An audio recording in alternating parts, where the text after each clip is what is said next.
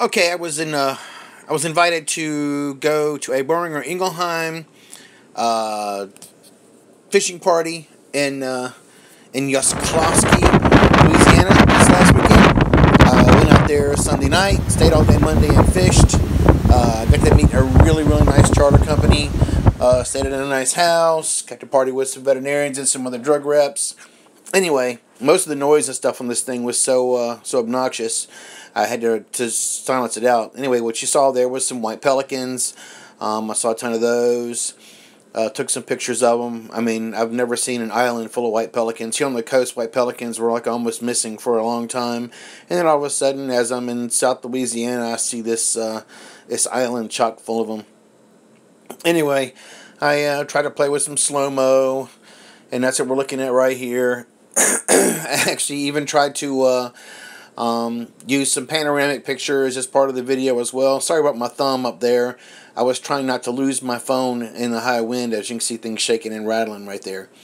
Anyway, so this is where I go. The waves are moving really slow right now.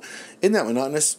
Um anyway, we caught uh, tons of reds, speckled trout, and uh, and I actually got to learn about some fishing techniques. The uh, charter service was actually very, very forthcoming in everything you needed to know. All you had to do was show up in some relatively warm clothes and some fishing stuff, and they had all your rods, your reels, took the fish off the hooks for you.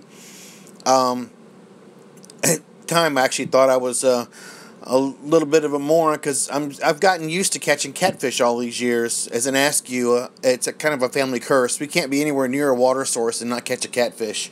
So uh, it uh, they wouldn't let me remove them from my own hook, so I kind of felt spoiled. Uh, other than that, we did catch some. Uh, I did mention redfish and also caught black drum, uh, red drum, and some sheephead uh, anyway, so it was actually a really good trip. So I think we're coming up now on some of the panoramic shots. Okay, as we're cruising by the bank, I actually have it set on panoramic, which means I'm just holding the phone still as we're speeding by the banks. I had to wait till there was just enough trees and stuff for the uh, the actual computer in the phone to realize that there was something that it needed to be tracking. So anyway, uh, if you watch the bank, you can see the bank moving up and down and in and out, and it gets really, really evident as they start going through a fishing village. In a second, this was uh, us moving along at about 35 miles an hour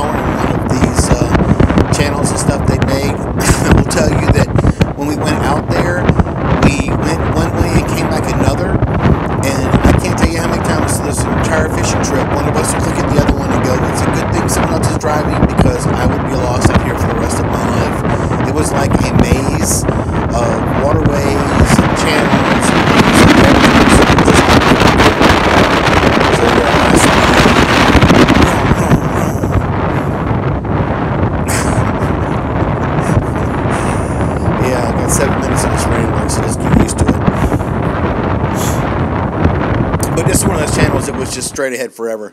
All right, there's some more of the uh, the panoramic shots without the actual panoramic. We did actually cruise through these little fishing villages. Um, and we'll probably see some of those shots in just a second.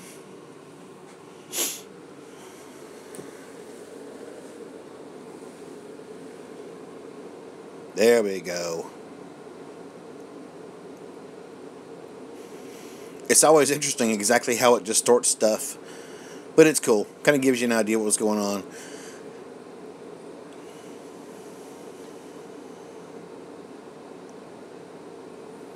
Some really cool boats. There were winches and cranes everywhere. We were marveling at the house we were in was on these like 15 foot stilts and it was basically one of those double wide trailers that they bring one half at a time. So we were discussing how they got them up there and anyway, there's these little fishing shacks, places for bait. there's our captain his wife's also a veterinarian, so he's a little, you know, dear to our heart. Uh, there's me kissing a redfish.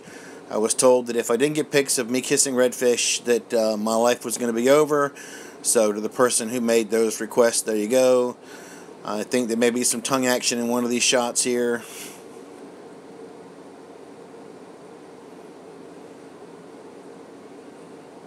That was the first uh, redfish I'd caught for the day after I'd gotten rid of the catfish curse.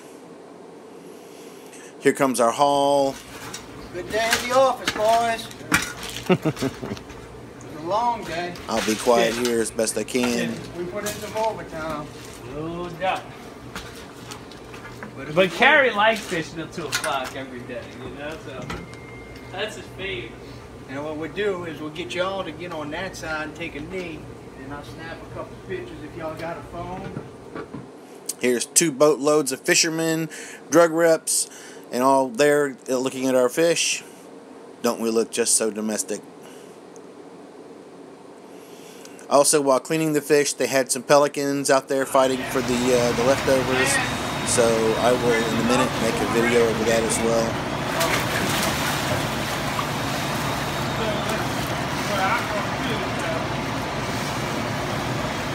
Where's that name? Where you from?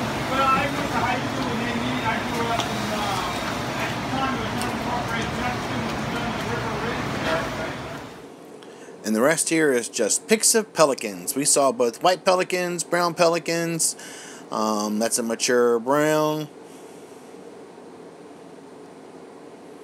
And I think our last pick coming up here, our next to last pick is going to be that's an immature brown.